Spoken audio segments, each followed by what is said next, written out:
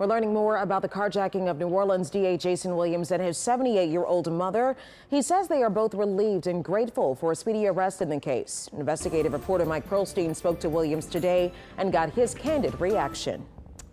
Well, that's right, Charisse. Now, understand that the district attorney is speaking only as a victim in this case since his office has officially recused itself from handling the prosecution of the 18 year old who was accused in the DA's case and one other carjacking that same night. Williams said he did interact with detectives on what he could provide as far as descriptions and a timeline, but mostly he expressed his gratitude for the quick arrest. So there has not been what you would imagine as a traditional sort of back and forth between our office and an ongoing investigation. Um, it's been um, Jason Williams' victim.